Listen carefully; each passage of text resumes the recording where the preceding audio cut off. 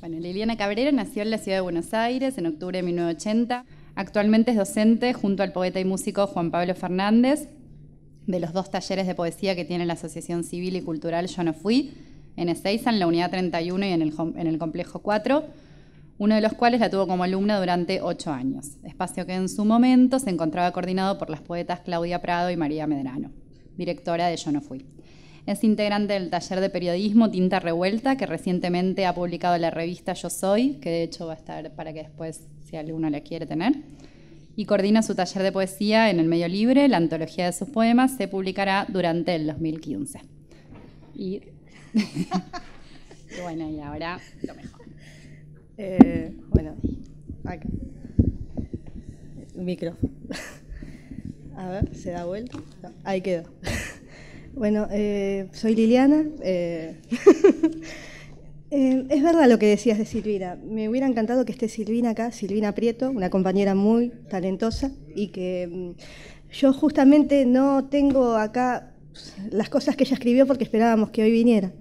Pero bueno, mirando la revista encontré dos haikus que ella escribió dentro del taller de poesía de la unidad 31 y bueno, los voy a compartir con ustedes después paso a mi lectura, pero primero los de Silvina. Como es adentro, proyección de vos mismo, así es afuera. Un delfín juega en las olas profundas del mar del tiempo. La verdad que Silvina es eh, multifacética, escribe poemas, escribe crónicas y nos hubiera encantado que esté acá. Bueno, em, yo quería contar un poco cómo había sido mi, experiencia en Ezeiza eh, es verdad lo que decía Cintia en la bio. Eh, pasé ocho años ahí y bueno, empecé a participar del taller de poesía en el año 2006 y para mí fue muy importante eh, durante mi detención tener ese acompañamiento. Creo que las cosas hubieran sido más difíciles de las que fueron de no haber tenido la posibilidad de escribir o de expresarme.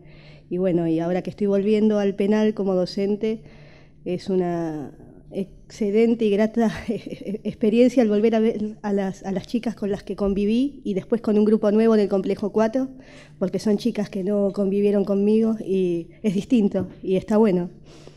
Y bueno, eh, también participo del, del, taller de periodismo de Yo No Fui, que funcionamos como cooperativa y eso es re interesante porque eh, eh, todo lo que se gana vendiendo la revista se reparte entre las chicas en la tapa dice el 30%, pero no, se, decidió que la totalidad, y eso es una decisión muy importante, es como una especie de militancia, y eso está buenísimo. Todas las chicas que venden la revista y las que escriben reciben algo y es re interesante. Para uno, yo por ejemplo, eh, antes de caer detenida nunca había trabajado en blanco. Entonces creo que para mí, como para las otras chicas, es importante tener oportunidades así. Y bueno, voy a pasar a la lectura.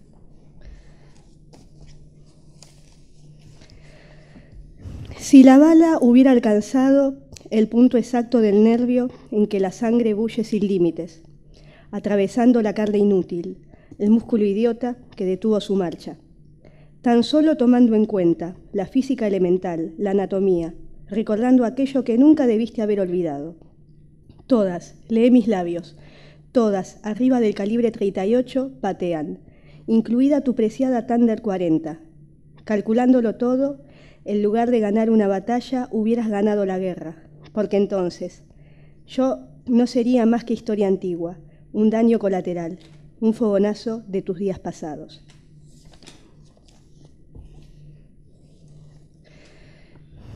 Bueno, esto tiene un epígrafe como el que escucha en su desierto clamar esa voz y esa voz contra él clama, Leónidas Lamborghini. Como el que decidido aprieta los dientes, monta la pistola, llevándola a su sien y dispara, ejecutando implacable su propia sentencia, como el que transforma la ciudad en la última testigo que lo verá vivo, como el que es recibido con sus brazos abiertos de asfalto y penumbra, como el que reconoce que ya todo está perdido y nada hay por hacerse, como el que audazmente a nadie dará el gusto de pasarlo a mejor vida. Como ese tomaré el control, como ese daré cada uno de mis pasos.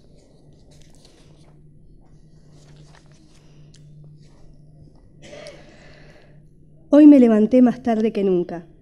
Dormías y no quise despertarte. Tomo como siempre a la carrera al SubTV. Miro toda la gente que se dirige a algún lado, el señor que lee ámbito, la chica que busca un número en su agenda, la mayoría van apurados como yo. Pienso en lo que podría haberte dicho y no te dije. Quizás dejé escapar el momento. Me bajo en corrientes y subo a ese hervidero de gente que es el once por estas horas. Voy de camino a Pasteur mientras corre el año 94, en este 18 del 7, en esta soleada mañana en que miro el reloj y voy llegando tarde, ya estoy unos metros y pienso en vos, en el desayuno que no tomamos. No sé por qué en este instante siento que un minuto puede hacer la diferencia.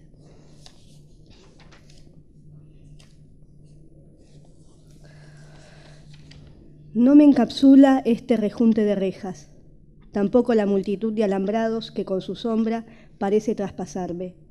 He logrado desprender cada eslabón, los estilpé de mi carte, vomité los restos desde lo más profundo.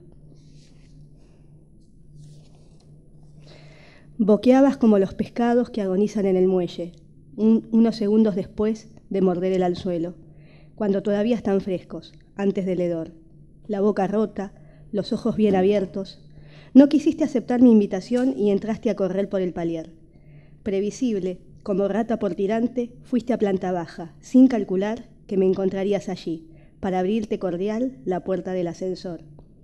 Quieto, como en pausa, mirabas sorprendido, como si esperaras el cuchillo que te partiría al medio, como si un tren viniera de frente, hasta que rompiste en llanto, y en ese acto reflejo pude conocer al niño que orinaba tu pantalón.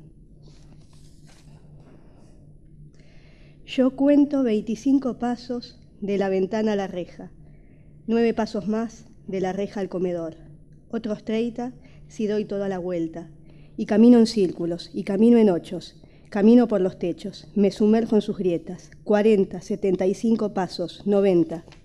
Se vuelven incontables si la cabeza va mil por hora, si las multiplico por las mañanas que se hacen tarde, por los días que se estancan en sus noches. Me como las paredes, las atravieso como si fueran una hoja de papel. Por un segundo las rejas se doblan, se desdibujan, se desfiguran de la realidad, pero no puedo escapar de mí. Esto es uno de los pocos que tiene título. Creo que son dos los que tienen título. Aeropuerto 5 kilómetros. Nunca pisé recepción. No tuve oportunidad de atravesar el hall de paredes de vidrio abandonando el mostrador para caminar junto a las macetas verdes y blancas que rodean los mosaicos. No contemplé la fuente, ni pude salir por la puerta grande, no me inundó el viento al pisar la escalinata, ni los mil colores del libre albedrío, que parecen salir de los árboles, como escapados de la realidad. Jamás pisé las grietas que rodeaban las baldosas, camino de la Virgen.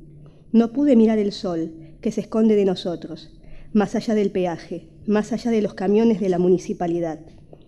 No pude decir no debo mirar atrás. No me desprendí de esta mortaja de años hecha carne, dejándola en el guardarrail. No crucé el perímetro perdiéndome en la colectora, para reencontrarme, señores, solo para reencontrarme.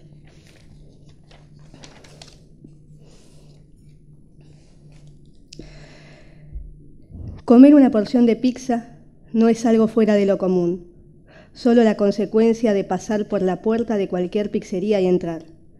Nunca me detuve a saborear cada mordida como si fuera parte de un momento único e irrepetible. Pero últimamente, algo del mostrador y las mesas de madera, de los platos de metal y el menú de las minutas, de las servilletas de papel astraza, vuelve y me arrastra de un solo envión, me empuja con la fuerza de un tacazo en la bola 8, y voy a parar a los mismos mosaicos, a las banquetas de cuerina, a conversar con el gallego, recuperando lo que ya no existe.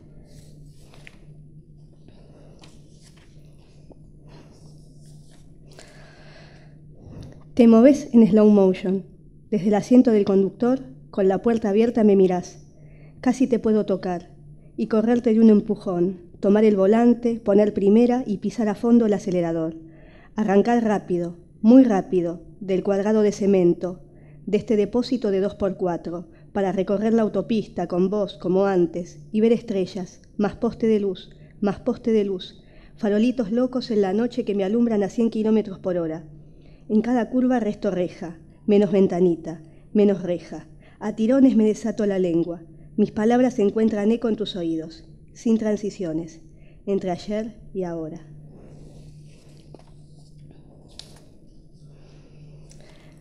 Cuando el movimiento pasa y desaparecen las obligaciones, y ya pasó la medicación, y se apagan las luces, y se corta el tránsito, y no hay un alma en el pasillo, y se llevan los teléfonos, apoyo mi cabeza en la almohada, cierro los ojos y me hundo hasta el piso. Me gustaría hundirme más allá. Quisiera también desaparecer.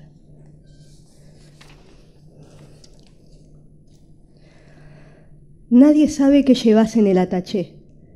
No lo sabe la gente común que pasa como si nada a nuestro lado. Tampoco los milicos de esta jurisdicción, ni los de la otra cruzando Rivadavia. No lo imaginan los que golpean cacerolas frente al Congreso o en la puerta de los bancos del microcentro. Nadie sabe que nuestro día empezó 5 a.m., revisando cuidadosamente las herramientas de trabajo, el cargador, la corredera, el caño, el filo en la hoja del cuchillo. Yo te dejo un oficio, me decís, mientras guardo por ahora el hilo en la guantera. Aunque los dos sabemos bien que no heredé tu precisión para los nudos marineros, ni tu muñeca para manejar con caja mecánica. También repasamos cada línea de diálogo y la vista de los planos, porque como decís siempre, no se debe entrar un lugar del que no sabes cómo salir. Una vez afuera, antes de llegar, damos dos vueltas al perímetro, pero entonces algo ocurre tu sexto sentido te avisa que hay un no sé qué en el aire, una pieza fuera de lugar. Y sobre el pucho, con el reflejo del caballo que huye del alfil, doblas en perón. Y yo te sigo, cuerpo a cuerpo. Cruzamos corrientes y nos perdemos en la valle antes de perder. ¿Quién dijo que saber cómo evadirse no es tan importante como un buen ataque en el arte de la guerra?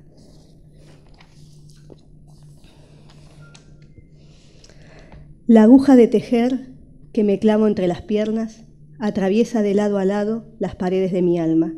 La sangre me desborda, llega tibia a las rodillas. Dejo huellas en cada pisada. Una estela roja, casi morada, me persigue. Los coágulos se desarman en la planta de mis pies, en la suela del zapato. No conocen la asepsia de curso legal. El quirófano no existe cuando no tenés un cobre. Su sola idea naufraga, me inunda por completo. En cada puntada se van tejiendo mis gritos que no conocerán un hospital.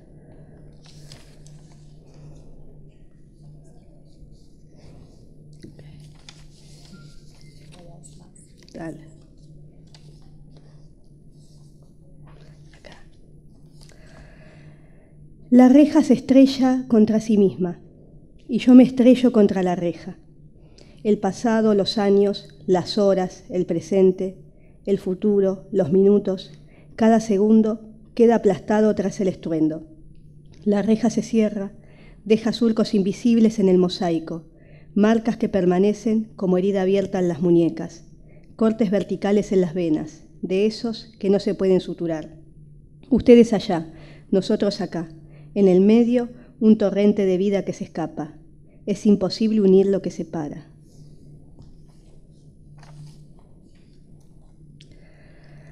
Si tengo que decirte cómo me siento, contarte cómo me siento, tendría que hablar de sensaciones encontradas.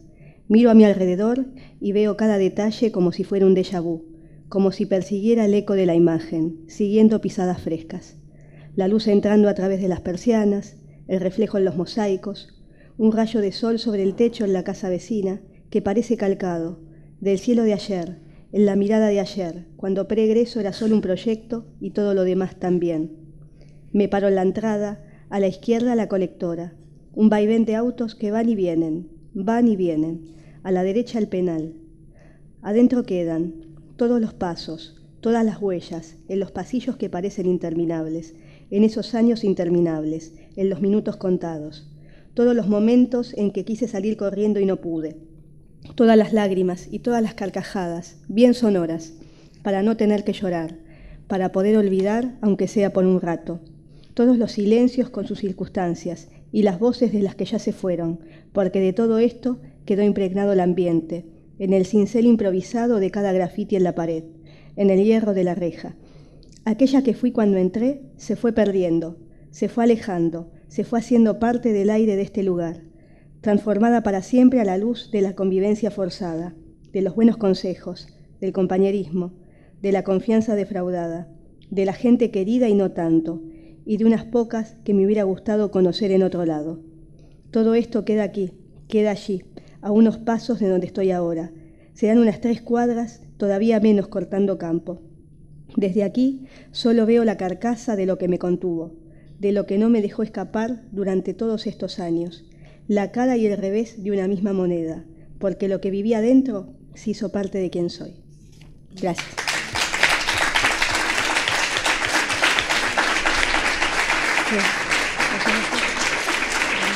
Bueno,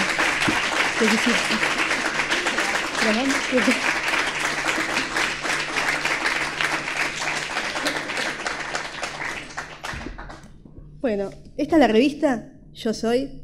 Si alguno la quiere adquirir, sale 35 pesos y, como dije antes, funcionamos como cooperativa. Si quieren colaborar, estaría bárbaro. Gracias. Mis libros hoy no los traje, debería haberlos traído. Eh, lo lindo es lo que vos dijiste ahí, que en el 2015 seguramente va a haber una antología. Y, igualmente también tengo que volver a, retomar con la editorial cartonera, porque a que ustedes no se den cuenta, cuando uno sale eh, son demasiadas cosas las que uno tiene para hacer y es algo que tengo pendiente volver a hacer bueno, yo salí hace un año y las cosas no siempre se ven, no siempre son tan fáciles como parecen, pero bueno, acá estamos. Gracias. De nada.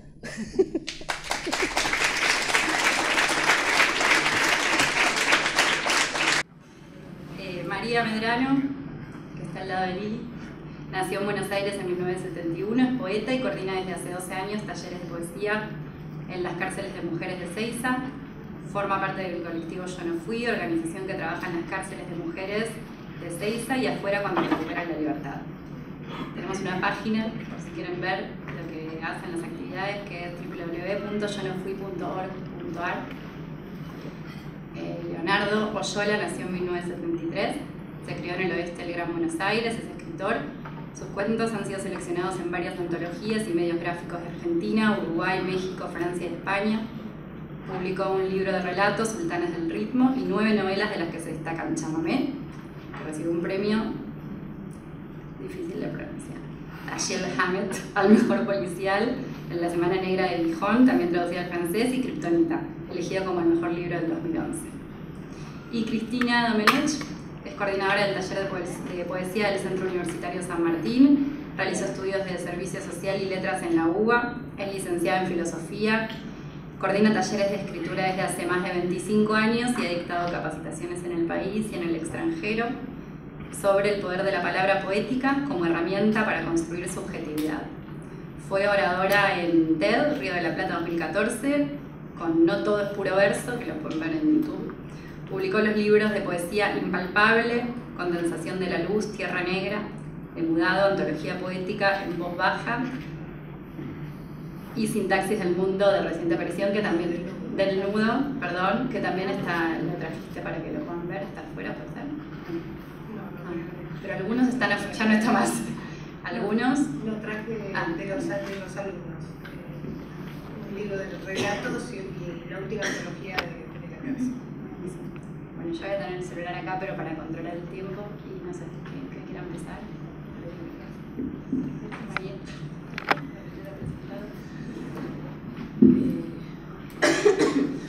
Bueno, yo quiero contar un poco cómo fue el inicio eh, con el taller de poesía, porque el taller de poesía fue el inicio también de, la organización Yo No Fui.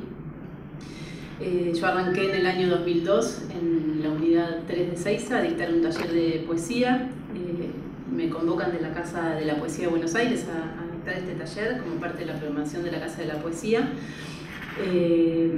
cuando la Casa de la Poesía cierra, yo continúo eh, yendo a Ezeiza. Eh, nadie me, dijo que no podía seguir yendo, así que yo seguí yendo. Y es eh, a partir del trabajo en este taller, cuando las chicas empiezan a salir en libertad, que empezamos a pensar en juntarnos afuera. En principio la idea era continuar el taller de, de poesía afuera de la cárcel, Eh, también sucedía que durante todo este tiempo, que habían pasado ya cuatro o cinco años trabajando en el taller de poesía en Ezeiza, eh, que el taller había sido visitado y habíamos eh, realizado presentaciones de, lecturas afuera del penal, festivales adentro de la cárcel, siempre el espacio de, trabajo con el taller de poesía tuvo como, así como premisa el afuera, ¿no? como la apertura hacia afuera. Eh, entonces cuando llegamos al momento en que las chicas empezaban a salir en libertad, había un grupo de gente muy grande alrededor del taller de poesía afuera, eh, que sabían de nuestro trabajo, que participaban de actividades, que nos visitaban periódicamente, que cuando llega este momento afuera ya había un grupo de gente esperando que las chicas salieran y con quienes empezamos a pensar en la posibilidad de, armar no solamente un taller de poesía, sino bueno, un grupo que recibiera a las chicas cuando salían en libertad. Eh, lo que nos fuimos dando cuenta de a poco en este empezar a, armar junto con las chicas que salían en libertad, porque para mí una de las cosas eh, más importantes de Yo no fui es que desde el principio fue gestado y trabajado eh, con las mismas mujeres que estaban privadas de libertad. Entonces que eh, nuestro, nuestro empezar a hacer fue eh, justamente a partir de las necesidades mismas que las mujeres nos iban señalando. Che, salimos, salir es lo peor que te puede pasar. Me acuerdo que me decían y yo me quería morir, ¿cómo que salir es lo peor?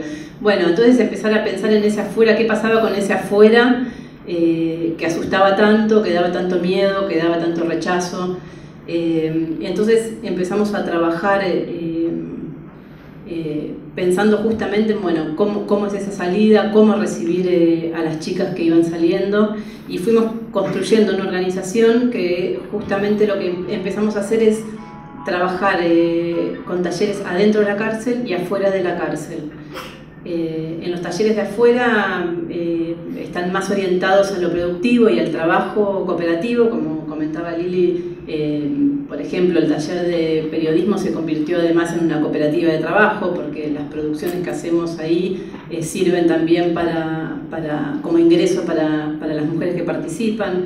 Y lo mismo en el taller de textil, nosotros trabajamos en artes y oficios, tenemos talleres de fotografía, poesía, eh, encuadernación, serigrafía, diseño textil, carpintería adentro de la unidad.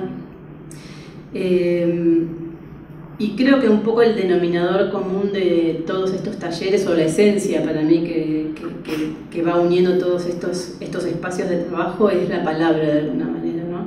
Eh, que digo, es la poesía lo que dio origen a todo esto, y creo que hay todo el tiempo como un trabajo eh, desde el lenguaje, ¿no? Desde repensarnos y repensar ese lenguaje eh, que utilizamos, ¿no? Como hay un, trabajo también de pensar, bueno, cuáles son nuestras palabras y desde qué lugar eh, nos nombramos y cómo nos nombramos para no seguir repitiendo también eh, las palabras del poder, ¿no? Cómo, cómo, el poder dice que debemos eh, nombrarnos o decirnos o expresarnos.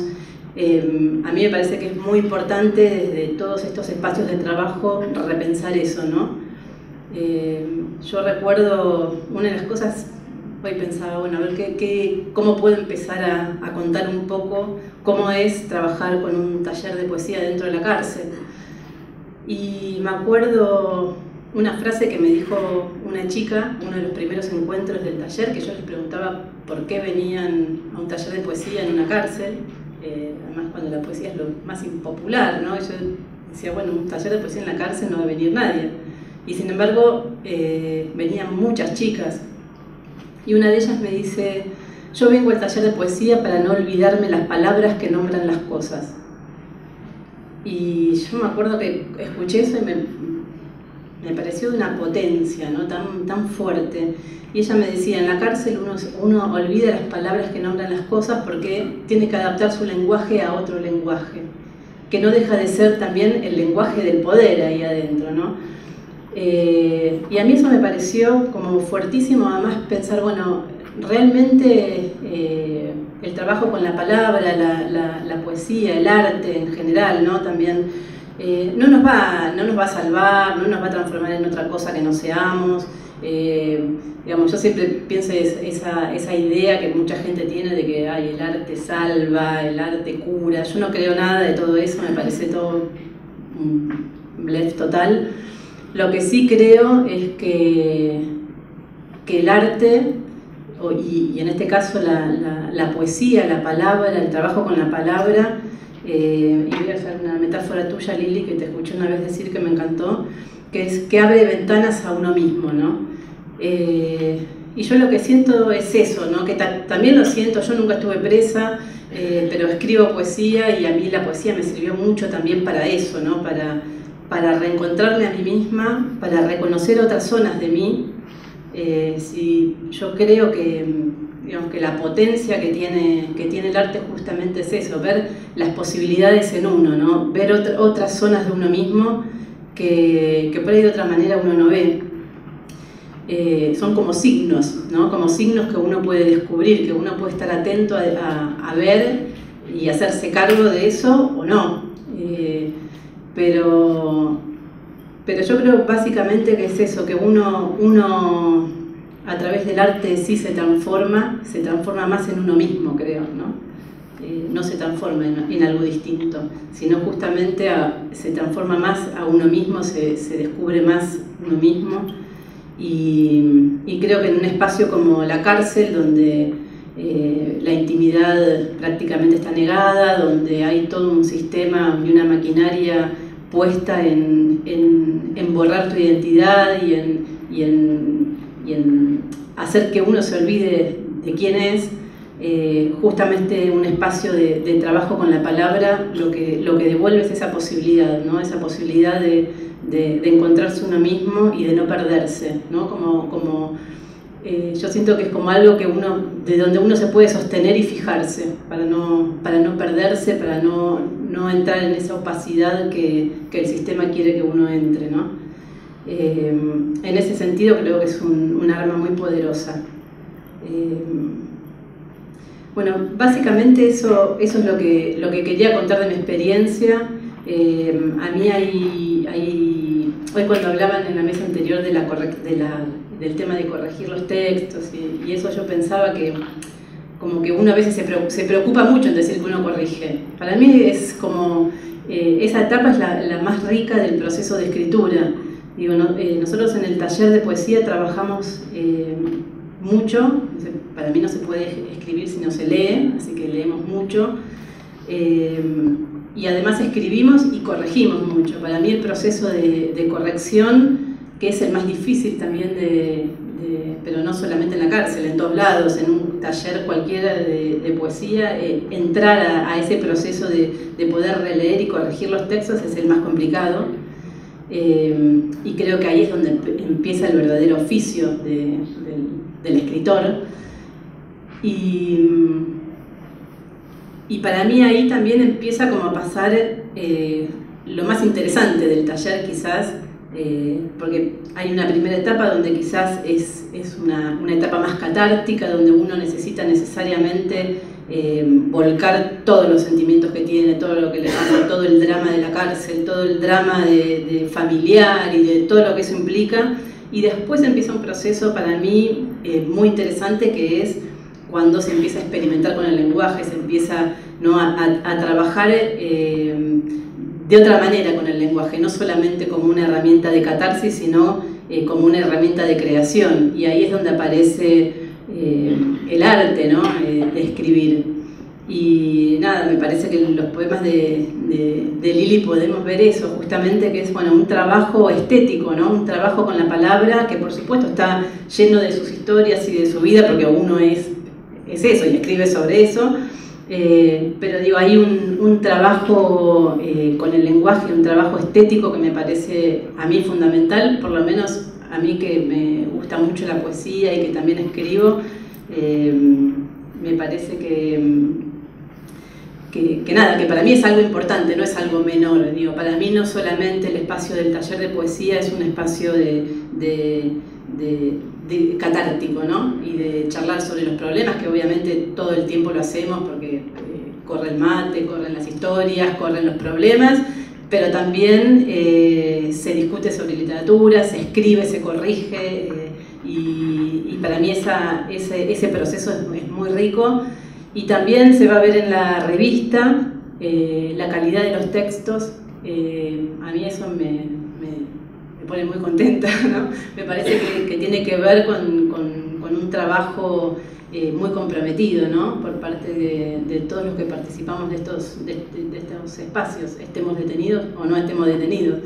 Eh, creo que, bueno, eso básicamente, porque acá me están apurando, eh, así que después seguimos charlando, si, si hay tiempo.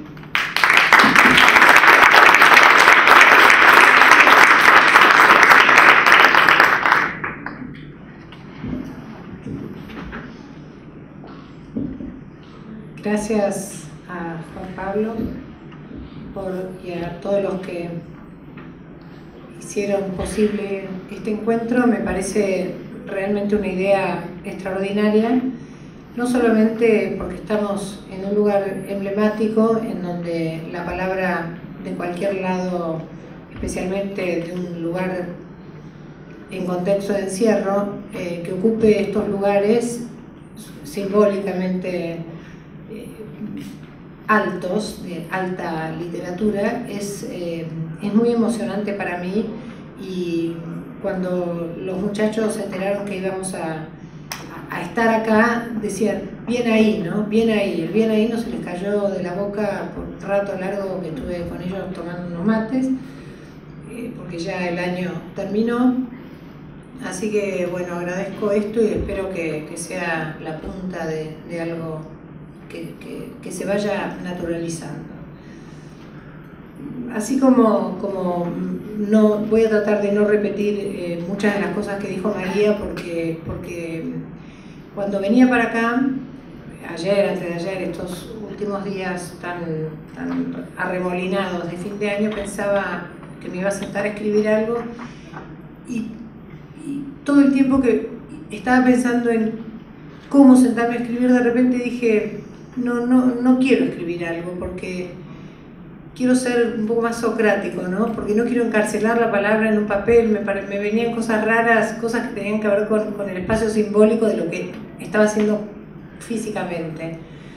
Y yo creo que trabajar en una cárcel es, eh, dictar un taller de poesía en una cárcel es un espacio de encuentro como cualquier otro, pero después de varios años de, estar físicamente en la cárcel y en el caso mío tengo como un plus a favor que yo trabajo dentro de la universidad que está dentro de la cárcel.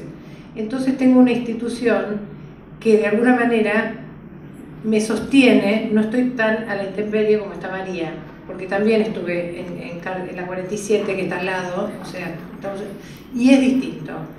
Lo mío es un poco menos complejo cuando ya se ingresa al espacio, porque cuando María decía, ¿por qué van a venir a un, taller de poesía? Yo me lo pregunté también, pero me, lo respondí desde otro lugar muchísimo más, eh, muchísimo más práctico. Cuando yo entré por primera vez a la Universidad eh, Nacional de San Martín, que es el CUSAM, el primer cartel con el que yo me chocaba era un cartel escrito por los presos que decía, acá rige el Estatuto Constitucional de la Universidad Nacional de San Martín. Y entonces, la primera respuesta que tuve rapidísimo fue, bien en el taller de poesía que estaba la carrera de Sociología y nada, y la nada misma. La cárcel era mayormente la cárcel común de analfabetos, eh, por un cirujano que es Ernesto Lalo Pared, presidente del Movimiento de Fábricas Recuperadas y además un personaje extraordinario, arma una biblioteca en la cárcel y eso deriva después que él va a la universidad y un cirujano lleva a la universidad al penal. Eh, estoy haciendo una reducción tremenda, así que no lo repitan esto porque van a decir que me perdí la mitad y es cierto. Pero el, relato sería muy largo. Entonces, cuando vi que estaba lleno el centro de estudiantes el primer día, dije, claro, acá vienen porque se están escapando de la cárcel, porque no, como no acceden a la universidad por diferentes motivos, esto es el único espacio que tienen para acceder al espacio USAM, ¿no? Entonces era una cuestión geográfica, era un modo de salir de la cárcel. Así que yo tenía que capturar de alguna manera, y vale, la palabra, ¿no? y en el contexto que la esté usando, yo tenía que capturar eh, personajes que le dieran valor a la poesía que no tenían ni la menor idea. Lo que era la poesía sí pensaban que eran esos versitos que aprende uno y que circulan por toda la cárcel para levantarse este, minas por teléfono y ese tipo de cosas. Bueno, eso era lo que ellos pensaban que era la poesía. Y entonces empezar a armar otra estética y, y, además aprender, porque lo que, lo que yo siento que hice todos estos años dentro de la universidad, además ellos pidieron un taller de escritura, ellos pidieron los presos. Yo, después la universidad me absorbió a mí, pero yo entré por una ventana, no entré, bueno, la universidad me llamó, no, yo la verdad que entré por una ventana y después me fui acomodando en una silla y estuvo bueno porque porque había ya una complicidad con, con, los chicos, un poco lo que le pasó a María, que la Casa de la Poesía cerró y ella se quedó del lado de la, de, del lado, y voy a decir algo de lo que me hago cargo yo, porque no, no voy a poner palabras a, a, lo de María, pero uno se queda ahí desde el lado del amor, ¿no? Y, y, esto está bueno porque, porque las construcciones colectivas no se hacen sin amor, cuando uno pone en pie en una cárcel tiene que saber muy bien lo que está haciendo y creo que se trata de construir subjetividad y no la propia. No va uno a reparar nada de uno a una cárcel, como he visto muchísimo y he padecido muchísimo. Uno es quien es y va a transformarse como cualquier otro lugar del mundo y va con otros abre la mano y los otros también entre todos ponemos lo que tenemos y vamos armando esto. Y entonces lo que fue pasando, que fue extraordinario, yo me di cuenta que los, en los primeros encuentros, cuando se fue filtrando la gente que venía a curiosear y demás, que había, había un problema tremendo con el lenguaje, pero tremendo por las dos partes, porque la primera vez que yo dije una, realmente una mala palabra, que y esto lo digo en homenaje al mosquito que, no está más con nosotros, porque murió de SIDA, y como bien saben, ya en la Argentina nadie se muere de SIDA salvo que seas un preso. Em, mosquito, yo no sé cómo dije esa mala palabra, me da hasta poder decirlo, pero bueno, voy a hacer una confesión pública que fue reinserción, y me dice, eh, ¿qué estás diciendo? Sí, reinserción. Eh, estábamos hablando de sociología, ¿no? Y me dice, ese re de mierda, nunca más lo pronuncias. Y yo ahí dije, claro, eh, te pido disculpas porque me di cuenta que reinsertar era hacer volver a, cualquier persona al lugar de donde había salido. O sea, si estaba robando, tenía que salir de la cárcel para volver a robar y volver a entrar. Y que el negocio de la cárcel es un negocio extraordinario y que nadie, por nada del mundo, se quiere perder ese negocio. Entonces, a los presos había que hacerlos volver y lo más rápido posible. Entonces, uno empieza a aprender toda esa perversión en la que está eh, dando vueltas, en la que está funcionando. Y también cuando uno lo va aprendiendo, también quiere, quiere, quiere poder hacer algo y quiere poder ser funcional a eso. O sea que el lenguaje nos va constituyendo y tuvimos que ir transformando el lenguaje y entendiendo cuál era el lenguaje del poder, exactamente como dice María, pero también eh, había algunos, algunos integrantes del centro de estudiantes que venían de, de, la carrera de Derecho en otras unidades penitenciarias. Y entonces hablaban eh, con números, y hablaban con números de códigos, y, hablaban con, con leyes. Y yo no entendía una palabra, yo decía, háblenme en español, porque yo no, no tengo ni idea de qué me están hablando. Y entonces me di cuenta que muchas de las personas que estaban ahí vivían al pie de la letra, y cuando uno vive tan al pie de la letra, se queda fuera de la letra, no tiene letra. Y entonces lo que yo me di cuenta era que la poesía iba a armar la palabra simbólica, que es lo único que nos salva, lo único que nos, nos permite construir y restituir una subjetividad que todo el mundo tiene, pero que a veces no la puede nombrar. Y la poesía fue, eso fue lo que hizo. Y yo lo fui viendo eh, a lo largo de tantas personas que fueron pasando por el taller y que muchas por suerte están en libertad replicando en los barrios, dando sus talleres, exactamente muy parecido a lo que ustedes cuentan. Ya tenemos en lo que es CUSAM, tenemos el, el preegreso, tenemos el post-CUSAM, ya estamos acompañando en barrios, en villas, en esto. Eh, o sea, el trabajo no, no es infinito porque, porque, bueno, por suerte las posibilidades son infinitas. Entonces, lo que, lo que nosotros, eh, lo, que, lo que vimos con la, con la poesía y lo que yo experimento con la poesía es cuando las personas al principio no pueden acceder a escribir un poema porque ven que ya hay alguien, alguno que está un poco más avanzado, entonces se cohiben. Yo lo que digo es, está, perfecto no escribir, está perfecto escribir, acá no tienen que responder, acá hagan lo que se les da la gana, esto es un espacio en donde pueden, este, pueden hacer lo que quieran a partir de cualquier escritura, van a ir encontrando la palabra poética, va a ir apareciendo. Y después de varios intentos, cuando les aparece un poema, que solo se dan cuenta, es realmente en el espacio del taller, ese espacio mágico que se va construyendo, es un momento de una dicha increíble. Y hay algo, hay algo que se arma, es como que, que, aparece una nueva cosa en ese ser humano y eso ya no lo deja más. Y ahí es como que la palabra empieza a crecer, a crecer, a crecer y, junto con la palabra simbólica que, van incorporando, uno ve que en, todos los otros ámbitos de, lo que es el espacio, en el caso mío, específicamente en el espacio CUSAM, hay, ahora ya hay talleres de filosofía, talleres de, unas chicas que vinieron el año pasado, y esto lo quiero mencionar, mencionar porque pidieron un espacio y no, tuvieron, eh, de la revista Le Monde Diplomatique, fueron a hacer un trabajo para Le Monde Diplomatique y se coparon con el espacio y empezaron a hacer un taller de crónicas ahí adentro y entonces eh, han, han, logrado un material de escritura de crónicas tan increíble que el año que viene se está por publicar.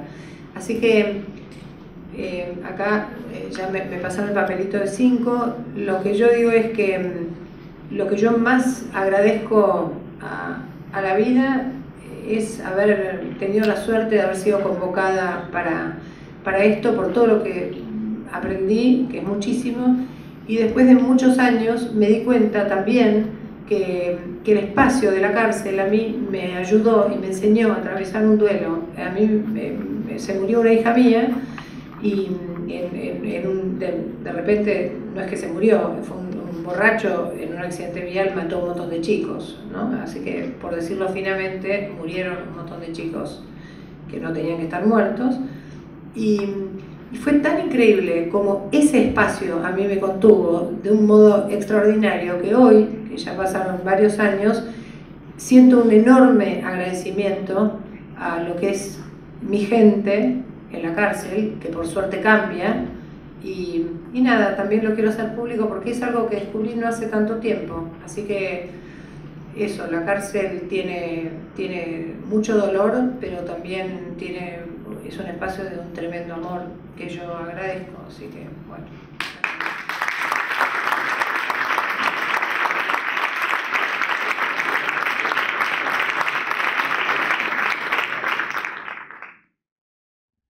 ¿Qué tal? Buenas tardes a todos.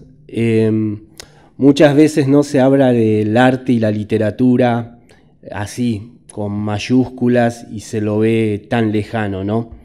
Em, uno le tiene respeto, pero me parece que lo más importante es ver este, cómo acceder a eso, ¿no? Em, yo en vivo no soy tan vivo, la verdad, para, como para poder exponer y esas cosas.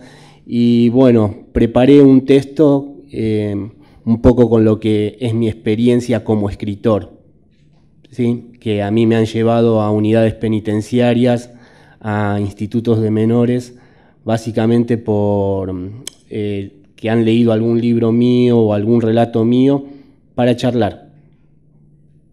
Así que bueno, uno cuando está enfrascado en la soledad que necesita la escritura para poder concretarse, jamás se pone a pensar qué es lo que nos va a dar el texto a cambio. La relación con la historia que estamos narrando, con esos sentimientos que vamos a compartir, desde un principio tiene que ser algo completamente amoroso, desinteresado.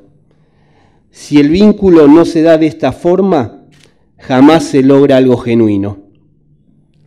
Cuando escribimos estamos desnudos, porque el que escribe se expone, y así es como llegamos ante el lector con nuestras palabras, en ese estado de fragilidad. Dependerá de esas manos y de esos ojos, de la mirada que se esté posando en nuestra historia, el cómo nos vayan a tratar.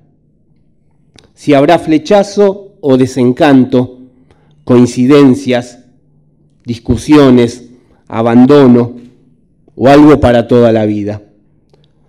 Como autor, como padre de mis respectivas criaturas, sé muy bien y siento que le debo mucho a mis libros, y por ende también a sus respectivos lectores.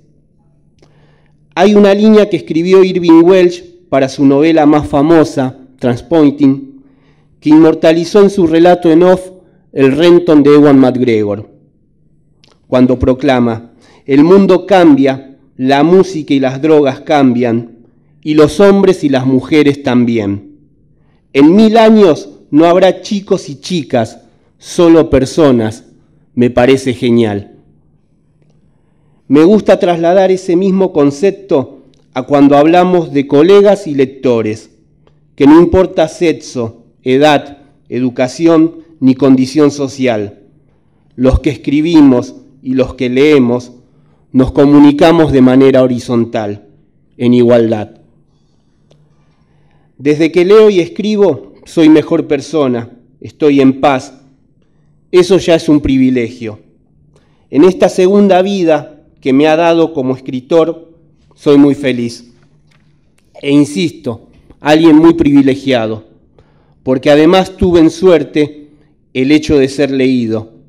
Y entonces cuando se me invita por mi oficio y por mis libros a un taller literario, a una librería, a una escuela, a una universidad o a una unidad penitenciaria, voy, porque se lo debo a esas historias que escribí y también a sus lectores, que habiendo tantas cosas para elegir, agarraron un libro de Leo Yola.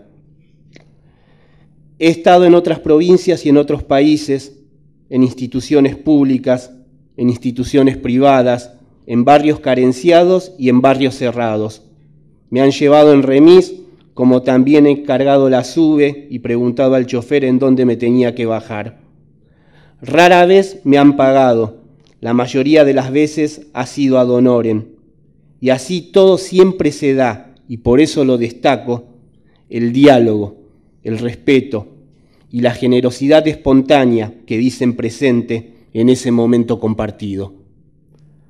Para que esto se logre, hay que destacar una figura más que interviene entre lectores y escritores. Una figura que realiza prácticamente un trabajo anónimo, como lo es el del tallerista o el de los profesores que acercan el material.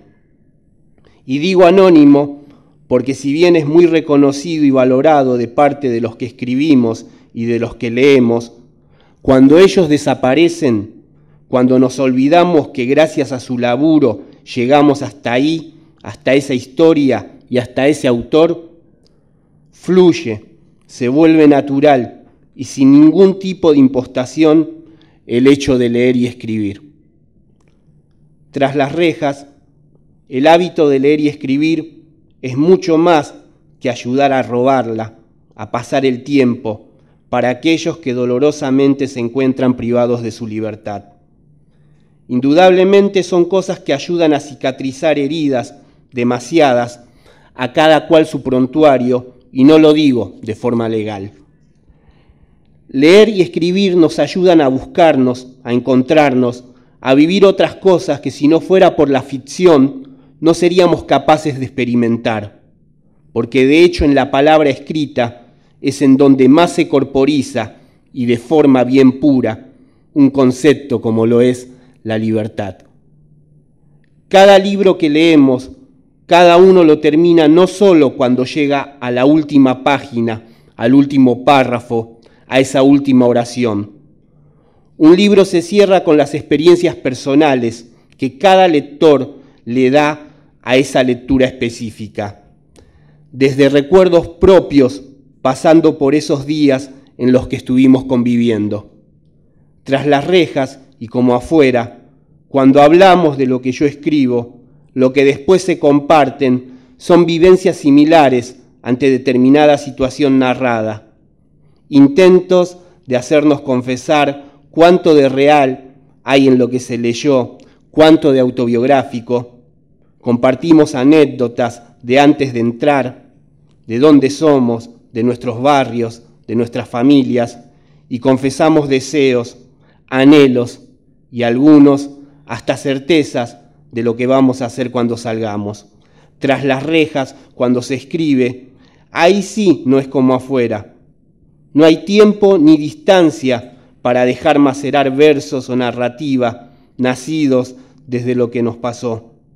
Aunque haya mucho corazón y alma 100% puestos al servicio de la escritura, inevitablemente se tiene que ser más visceral, porque hay una urgencia de expresar el veneno que es la cárcel, de vomitarlo, de sacárselo de encima, de pelearla y de no perder ante él.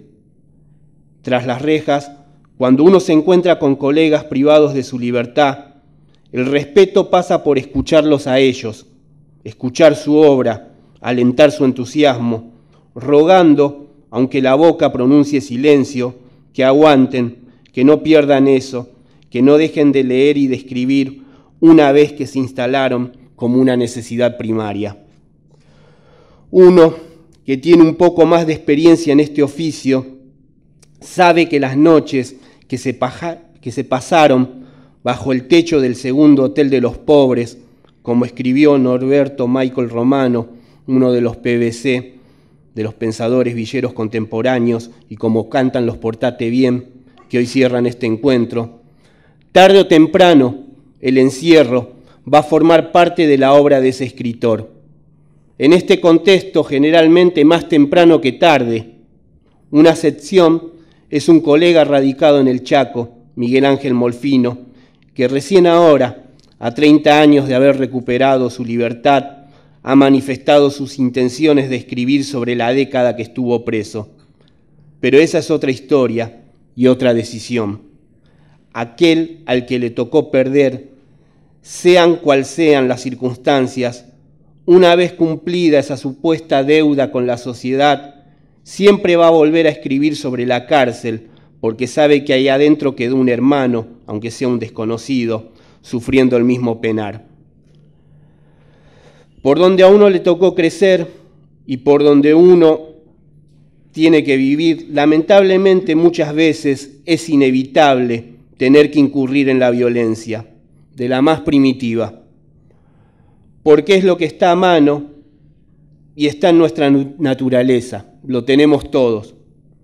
Por eso no es bueno despertar lo que está dormida. Y mierda que uno se despierta cuando tiene hambre, mierda que uno se despierta cuando es pobre. Yo sí creo fervientemente en leer y escribir, como anteriormente sostuve, en la igualdad que nos brinda a la hora del diálogo, educación, dignidad y oportunidades. ¿Por qué carajos es tan difícil? Y no es una pregunta retórica ni a Dios ni al gobierno de turno, es al prójimo. La violencia trae una escalada, desencadena una serie de sucesos pocos afortunados, destinados a un desenlace inevitablemente triste, a un final malo. Hay unos versos de un iraquí que me parecen como lo mejor de cualquiera literatura, que no importan latitud ni longitud, y sí lo universal que representan, el cómo son capaces de llegarle a todo el mundo. Esos versos dicen, si la piedra pudiera resistir su deseo de volar y no se agotara de estar observando el desatino de estrellas naciendo y muriendo, ay, si esta piedra en mis manos pudiera resistir su deseo de volar. Mi hijo vive con su mamá en la costa, lejos, muy lejos de donde me crié yo y de lo poco que nos tocó a nosotros, a mi familia. Me encanta ver que no le falte nada, verlo bien, pero sobre todo es una alegría no haber tenido que criar a un machito. no tener que enseñarle ciertas cosas que iba a tener que aprender y que iba a tener que hacer sí o sí de crecer en mi barrio. Amén de que en la escuela y que nosotros, su familia, le mostráramos otras cosas. Escribí sobre eso en un capítulo de una novela mía que se llama Chamamé. Cuando mi papá lo leyó se sintió terrible, muy angustiado. Me vino a reclamar, pero vos sabés que yo hice eso, que yo te hice pelear porque no iba a estar siempre ahí para cuidarte, que te tenías que aprender a defenderte solo y hacerte respetar desde pibe, por más que fuera solo un borrego. Pobre mi viejo, pensó que le estaba pasando factura y nada que ver, todo lo contrario.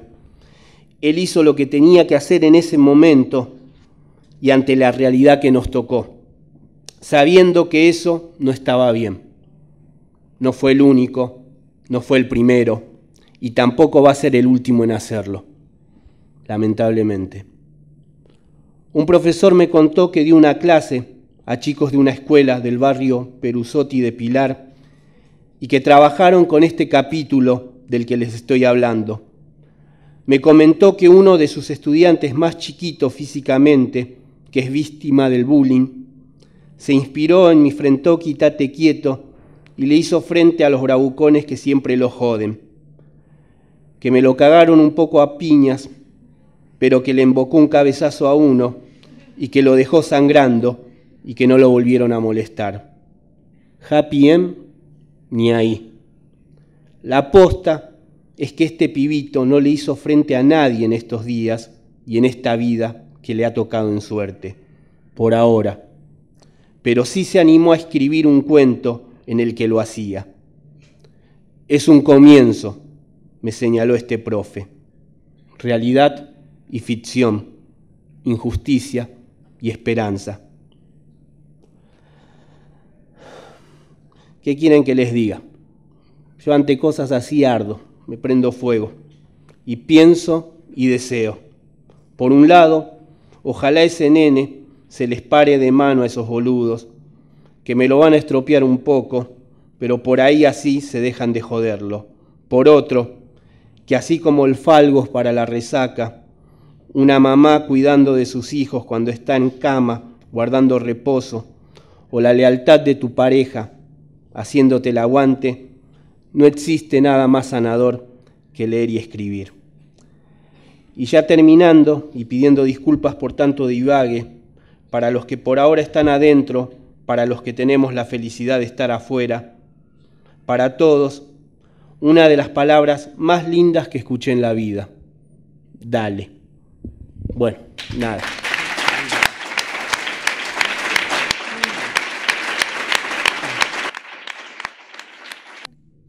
Yo contesto rápido y le paso a María. Em, yo no, no, no, no, tengo, no tengo una respuesta. Eh, si soy honesta, creo que eh, yo desde muy chica milité, eh, cuando era muy chiquitita, estaba en quinto grado, me iba a, la Villa La Cava a un apoyo escolar que había, no sé por qué, y, pero por otro lado no me faltaba nada.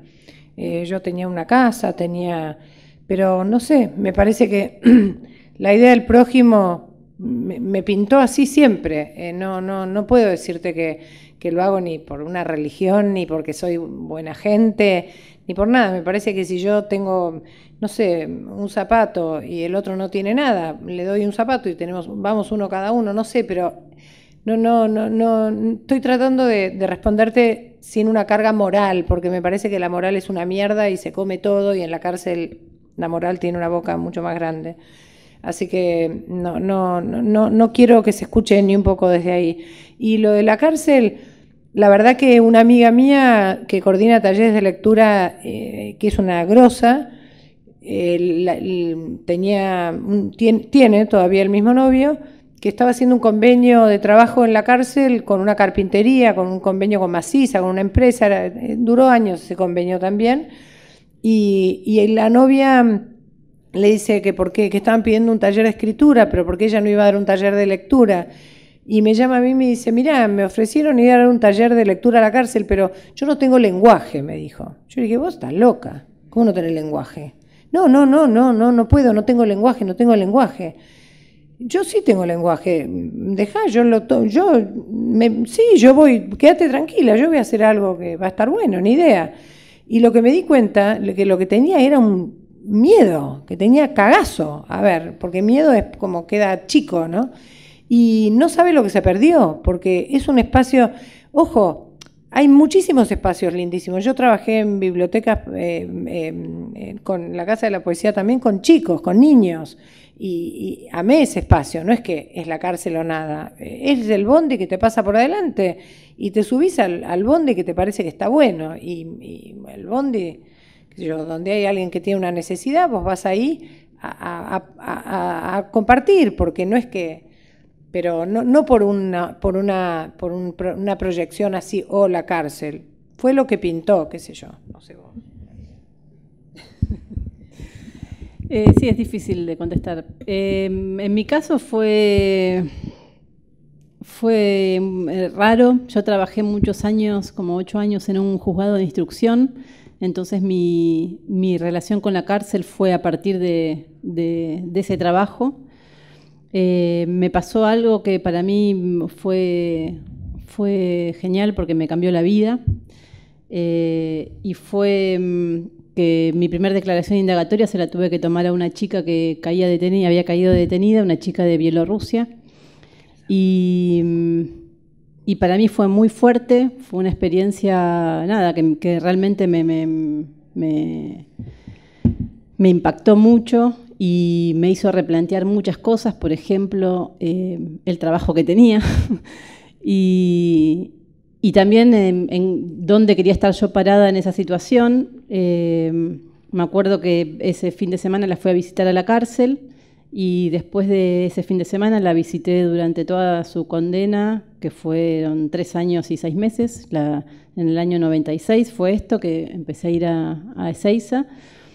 Y para mí fue, fue como, como, una ventana a un mundo que yo no conocía, no me planteaba, no me interesaba, no me importaba, qué sé yo, no sé, la cárcel estaba ahí, nunca me había detenido a pensar en la cárcel. Creo que fue esa situación la que me, confrontó con, la cárcel y con esa realidad. Y, de alguna manera también eh, me transformó la vida a mí. Digamos, eh, de golpe eh, toda mi, energía se cambió de, dirección, digamos, cambié de trabajo, me dediqué a, nada, construir un espacio colectivo que, con la gente que estaba privada de libertad y con las, chicas que iban saliendo. Así que, ¿por qué? La verdad que no sé por qué, porque se me presentó en la vida y me y eso. no sé por qué, pero, pero fue así. Eso fue un poco lo que sucedió.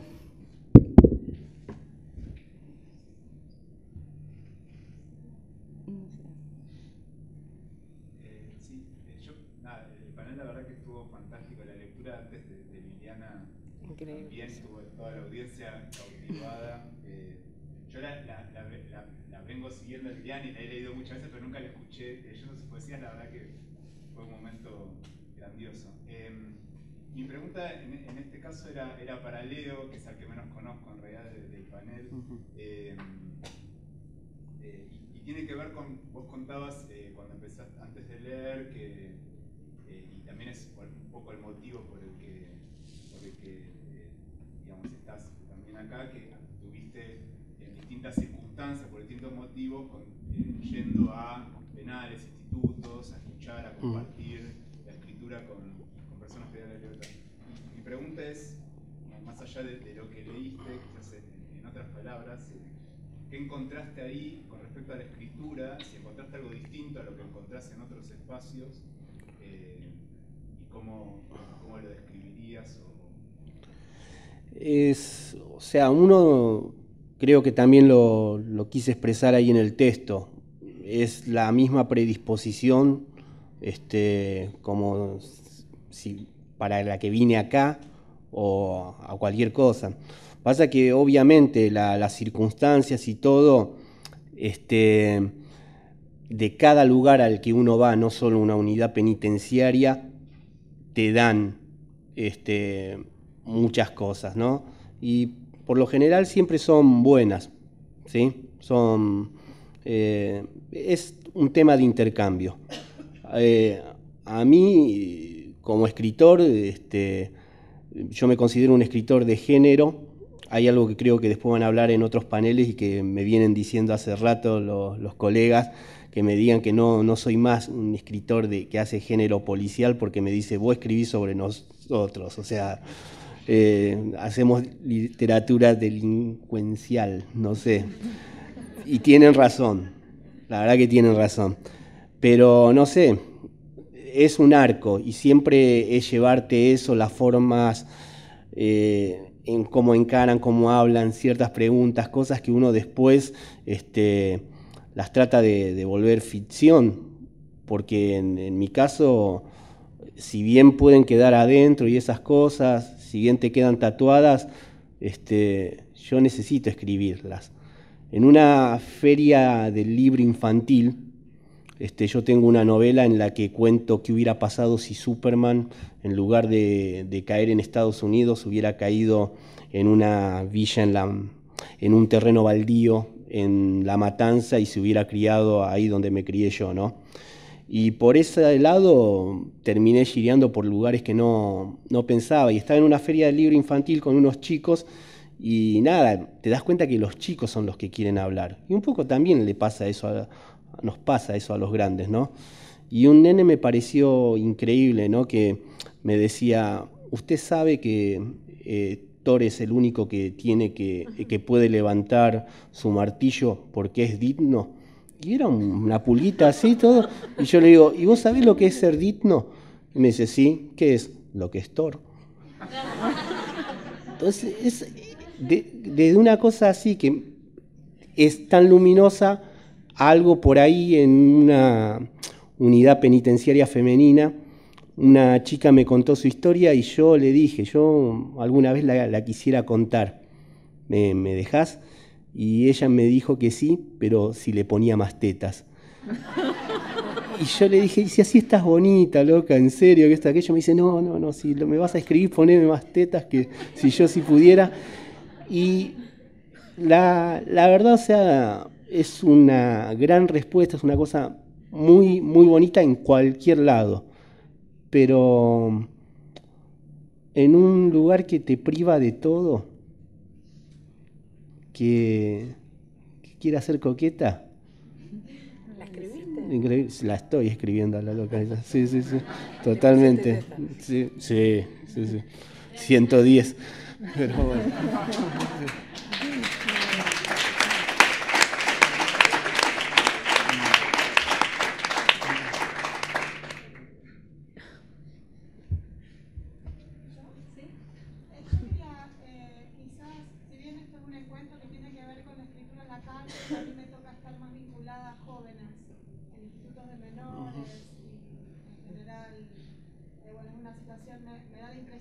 laboral o penal es mucho más inestable y tengo mucho menos tiempo que lo que parece que ustedes disponen para laburar en un penal, ¿no? porque las condenas son más cortas. Quería saber si han tenido alguna experiencia con jóvenes, en institutos de menores, si tienen algo para contar, para aportarme, porque realmente me, me, cuesta pensar los procesos que ocurren en, los, en las cárceles y vincularlos con, con el laburo con pequeños, con situaciones bien distintas.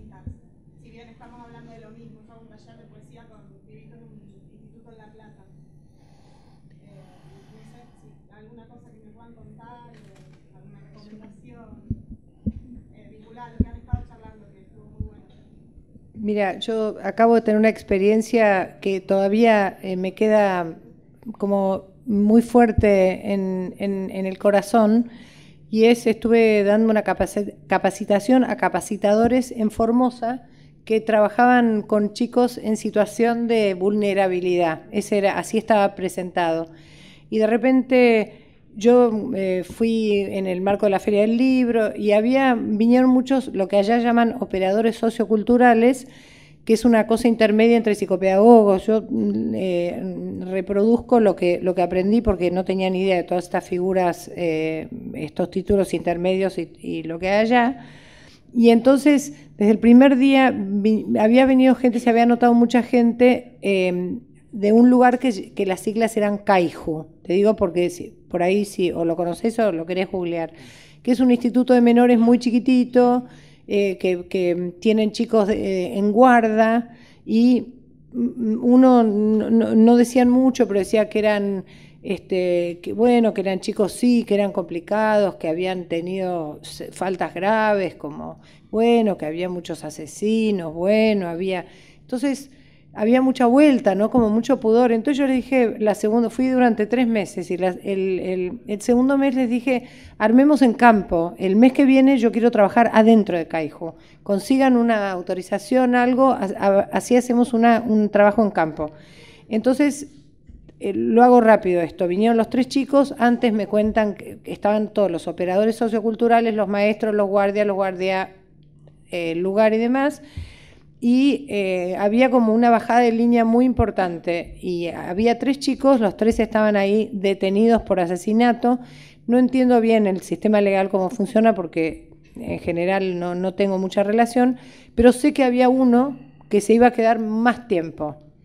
Y entonces los, los maestros y demás que ahí tenían algún tipo de educación, eh, decían, necesitamos herramientas, necesitamos herramientas, y no tenían ni idea de lo que era la poesía ni cómo funcionaba, ¿no? Entonces, yo trabajé, me acuerdo un texto eh, de una, de una chica mendocina, eh, María Eugenia Simeón Sato, un texto inédito que a mí me gustó mucho, porque había estado de visita en la cárcel, me había regalado su manuscrito y yo me estaba yendo a Formosa y dije, esto me va a venir bien, y por eso trabajé eso, ¿no? Entonces, eh, doy una consigna, pero a todos, eran los grandes, los chicos, por supuesto, estando los supuestamente detenidos, el resto no iba a trabajar. Yo ya sabía todo lo que iba a pasar por pudor y por no exponerse y por, por ¿no? Y había un chico eh, que por supuesto no entendían nada, eh, decían que no entendían nada, y había un chico que había tenido una actitud muy osca y era muy nuevito en el lugar, después me enteré, y yo les, iba explicando lo que, lo que rápidamente, lo que podía, se podía hacer con eso, pero que no se preocuparan que eso era como para que ellos tuvieran una experiencia, tantas experiencias que se tienen en la vida, que si no, que lo que, si les daba ganas de hacer algo, que lo hicieran era para que sus, sus maestros supieran, qué sé yo. Entonces uno eh, se mantuvo muy al margen, otro agarró un lápiz, un papel y empezó a mover la mano. Yo lo único que veía era que movía la mano y otro escribió algo porque era el que yo tenía más cerca, ¿no? Entonces, bueno, les dije, les, pregunté a todos si querían compartir desde los guardias, ¿no? Lo que habíamos hecho, lo que habíamos hecho entre todos y además yo me puse a intervenir, lo que no hago jamás, me puse también a escribir yo, como para, bueno, si lo hacíamos todos, lo hacíamos todos, ¿no? Y entonces cuando el primero dijo, no, yo no entendí nada, pero con, una actitud muy desafiante, yo me da cuenta que era a, la situación. Y yo le digo, bueno, está muy bien, como que, está buenísimo que, que, hayas podido no hacerlo y hayas podido seguir lo que vos tenías ganas de hacer y demás. Y el maestro enseguida intervino y dijo, lo que pasa que acá, para que ellos hagan algo, lo que hay que hacer es decirles exactamente cómo hay que hacerlo qué es lo que hay que hacer, darles un modelo, darles un ejemplo, entonces ellos ahí sí pueden hacer. Entonces yo lo, interpelo al maestro y le digo, justamente se trata de eso, de armar un espacio en donde uno tire un espacio de deseo y si hay una construcción posible, la van a hacer y si no, algún día la van a hacer. La idea es que no hagan si no quieren, no que respondan a, lo que se les pide. Y entonces, este, así que le agradecí al chico ese por no haber hecho nada. Y cuando vino el otro, el que movía la manito, que yo no sabía qué había estado haciendo, le digo, ¿tenés ganas de compartir lo que escribiste? Y me dice, de una forma ya menos desafiante y menos jodida que un rato antes, me dice, es que yo no escribí nada. Y le, yo me empecé a reír y le digo, bueno, está bien, perfecto, si querés compartir eso que pasó cuando movías la manito, no sé cómo se llama. Y entonces el guardia ahí nomás dice, es que él dibujó. Entonces me dice, sí, quiero compartirlo. Y me muestra un dibujo que yo ahí mismo, y me acuerdo ahora y me dan las mismas ganas de llorar que en ese momento, era la parte de atrás de un caballo, pero extraordinario, era un caballo extraordinario. La parte donde terminaba la montura, ahí había como un ser humano parecido a un gaucho indio, pueblo originario, una cosa que yo no pude identificar mucho por mi conmoción, supongo. y, aire, ¿no? O sea, había dibujado el poema. Era extraordinario. Es muy difícil dibujar un poema porque un dibujo simbólico es, raro. Entonces, la verdad que él se dio cuenta que mi felicitación era genuina y le dije, si vos supieras lo que yo valoro eso, porque yo no sé ni dibujar un redondel, qué suerte que tenés y de verdad no sé dibujar ni un redondel. Y el otro chico había escrito algo. Cuando se van, bueno, me despido, ya el chico ese me abrazaba de haberme mordido prácticamente cuando nos saludamos de entrada. Y yo le digo a los maestros, pero con esto es que nosotros no sabíamos que él dibujaba. Yo dije, bueno, la verdad me alegro de haber venido a hacer este trabajo a campo, porque eso es lo que pasa. Ustedes no tienen que saber tanto, ustedes tienen que solo escuchar lo que, lo que los chicos le van pidiendo y eso, de ese modo, se va construyendo un camino entre los dos. Si ustedes bajan línea, nunca van a llegar a ningún lado. Y lo único, la única pregunta que yo les dejo es, si nunca funcionó, ¿por qué va a funcionar lo que ustedes están haciendo? Busquen otro camino. Para mí fue un aprendizaje con los chicos eh, precioso, precioso. No sé si te sirve para algo la respuesta.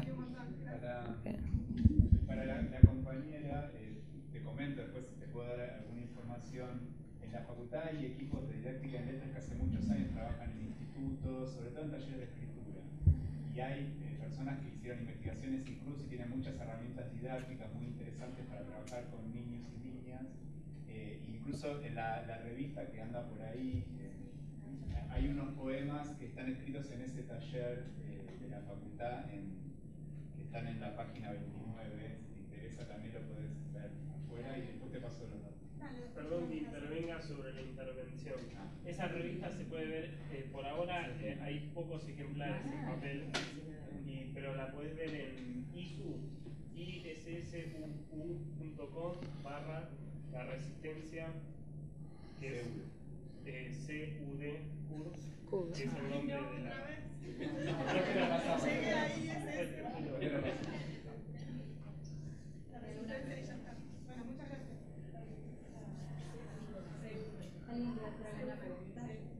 quisiera eh, preguntar eh, a María cómo funciona la asociación civil. Yo no fui, no sé si puedes contar algo. Mm, sí, está bueno.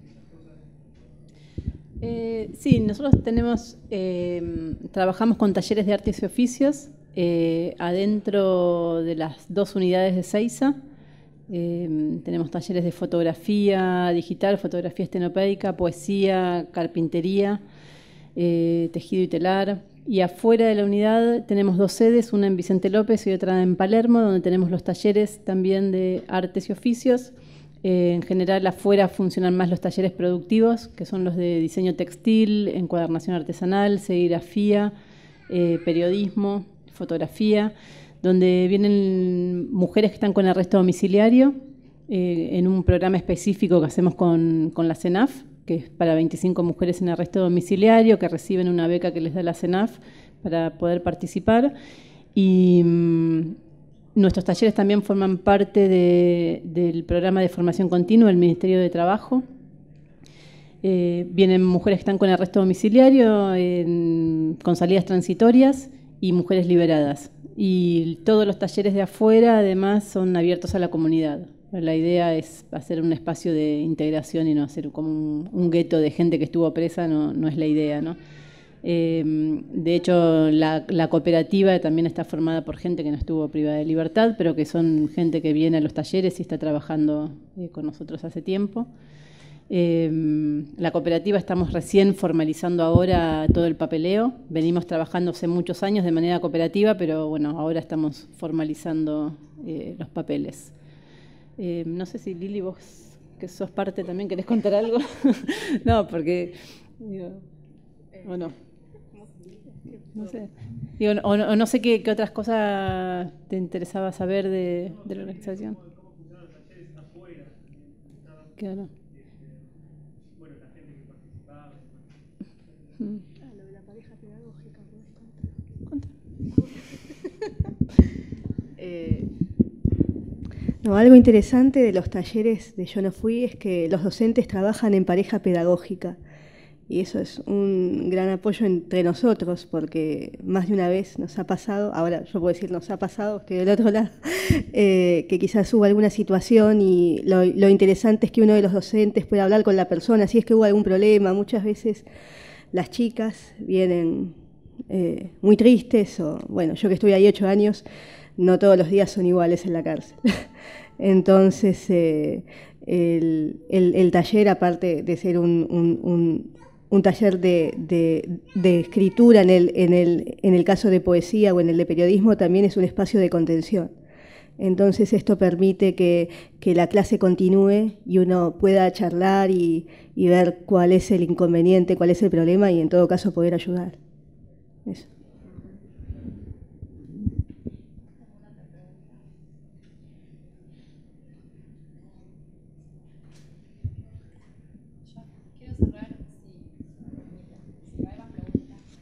con un poema de Sergio que, muchos lo conocen acá, que me parece que hoy estaría acá si no fuese que está en Santiago del Estero.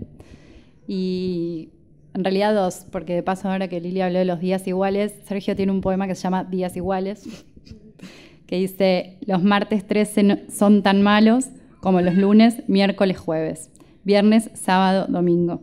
No importa el número, estar acá es siempre un martes 13. Mala suerte eterna de días iguales.